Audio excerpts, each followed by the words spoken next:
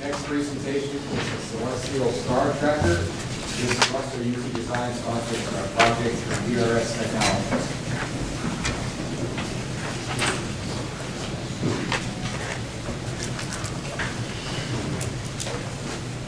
Greetings, my name is uh, Tom Schmidt. My partners Noel Robb, Stephen Blystone, Jeff George, all electrical engineering majors working on a design project titled Celestial Celestial Star Tracker for DRS. We'd first like to thank DRS for the opportunity to work on this project, uh, as well as the university for recruiting it. This was, this project was a lot of fun to work on, uh, it really allowed us to express our creativity, uh, as well as utilize skills that we've learned here at UTD, and also pick up uh, a lot of new ones on the fly.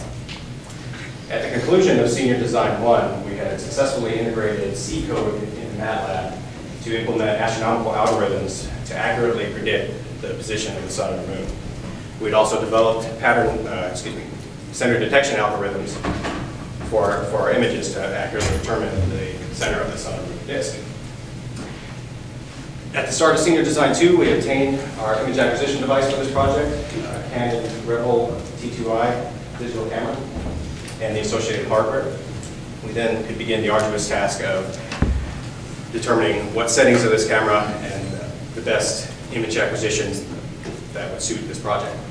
We also reworked and rewrote the center detection algorithms for the sun and moon, making it more robust and able to handle a wide variety of image irregularities.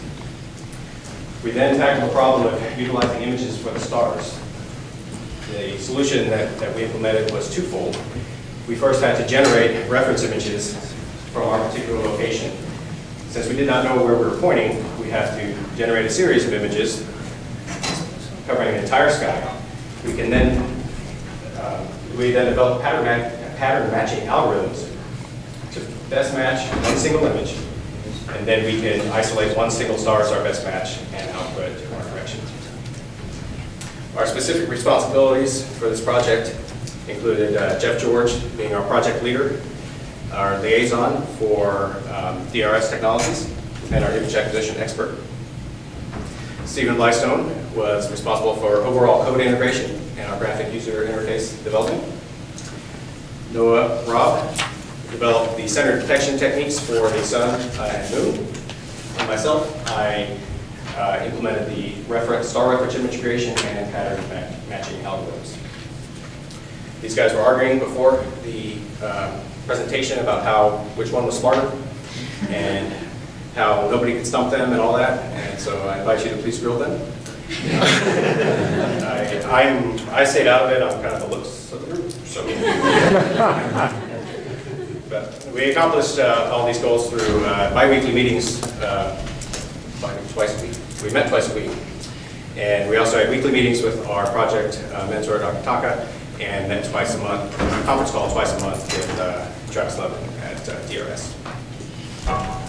We're very excited to conclude this phase of this project. Uh, We feel that uh, we have met all our design objectives, and we're very confident that uh, this can be a viable product for DRS. Thank you for your time. Questions? Sir? So you you started with a uh, open source project, Home Planet, and I guess there's been a lot of implementations over the last 10, 20 years on Star Maps. What was your primary improvement? Was it just on the improvement on the algorithm for analyzing the center of sun and or were there some other aspects that you improved upon from the open source project? Uh, The open source project was, uh, there- there's a lot of, a lot of programs out there, like you said, uh, to, to generate uh, what you should see uh, at your location, where satellites are. Um, and- and that, what we used out of Home Planet was the code that predicted the altitude and azimuth, particularly the sun and the moon. That's the only thing we pulled out of there.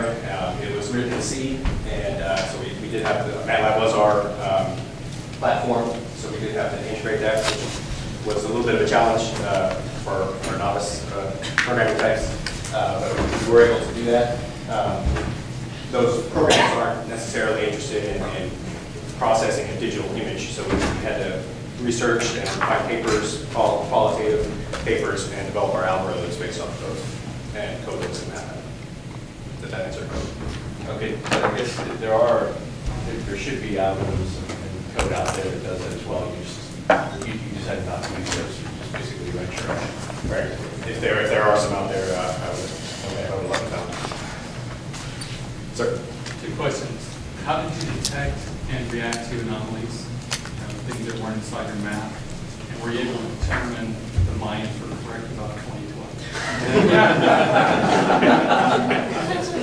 Yes. I'll go ahead and expertly deflect that over here No. Noah. Uh, Well, basically, well, one of the problems that we discovered um, when we ran the demos for the first prototype that we came up with, uh, if you were here last semester and saw it, it was working very well. But we had problems when, say, for example, a cloud would come in the way of this moon shape you see here. Um, Also, you know, the crescent moon and there's things like that. And we found something in MATLAB called the centroid function that can find the center of a white image on a black background. But it wouldn't work for something like this, because then you'd wind up with it in the white instead of in the center. So one time when I was uh, just thinking really hard, I think it was some night after going home from school, I was exhausted, and someone came up with this idea of circles. And I thought to myself, if we can draw circles on the boundary, and predict about what size that object should be, we should be able to find an intersection where they all meet. And kind of what you're seeing here, it's not, I promise it's not a blank spaghetti monster, it's actually uh, finding the center of this, and consequently reducing our error by, I don't know, what do you think, guys, about a tenth of a degree, something like that, a little more than that. Um, So that's mainly why it's more robust. Also, we have better image acquisition, uh, thanks to Jeff, with the filters and things like that, so we could really nail it on the spot pretty much every time. Sir? So, none of you guys are software engineers, right? None of you are computer science. What does open source mean to you? Open source means that the uh, code is uh, free to use as you see fit. You Guys need to go and do a bit more learning on that, I think. Yes, sir. How much of the sky needs to be visible in order to give an accurate reading? For, um, we can, we can compensate for uh, incomplete disks of the southern moon, so as long as we have about uh, 20% visible, that's not right, for, uh, we can have a- a a obscure, it couldn't be obscured, 20%, in order for the sun or moon. For the stars, uh, we reliably, to, to get a a good image, we need about six uh, stars in order to really effectively pattern match. And uh, so it- that's variable depending on where you're looking in the sky, of course. Last question. A a- a naive question, so how is this going to be used by DRS Technologies again? Or what is the use case for this? What is It's a, it's to our understanding, it's going to be part of a, of a little bit larger system, but basically, uh, they want a system that's not magnetic in order to determine what direction, of- the direction you're facing. And the, uh, the the motivation behind that was um, based on your situation. Uh, You had a lot of uh, interference with magnetic means of determining direction, and an optical, a reliable optical base would be ideal. So I guess you have it in a handheld device of some kind ultimately, or how is it going to be used? Uh, Currently, we have a a camera and a laptop, and it- as, as it goes through more stages of development, it could be parcel, parcel bound a little bit further, but uh, right now, it's definitely not handheld. There's there's no GPS or anything else that's built, because like on cell phones and things, you could, buy- you can download uh, techniques like on your iPhone that will allow you to look at Star Walk or Yes. But they're, they have GPS and they also require that you have the electronic So without GPS, how did you find your location of the viewer? Uh, We did have GPS, so it was, it was an assumption that it was uh, input, um, the the part, the the theory that this was part of a larger system. Uh, We were told to just assume GPS is, is an input, so uh, currently, it's, it's really a manual input um, uh, for the demonstrations. So, so it works um, daylight or night, just, you know, overcast or? Yes, sir. Uh, The the overcast is, is a is a big limitation. Um, We haven't yet found a way to actually uh, get the disk, some of the disk through cloud, haze. Um, But the overcast is. is- Okay, thank you very much.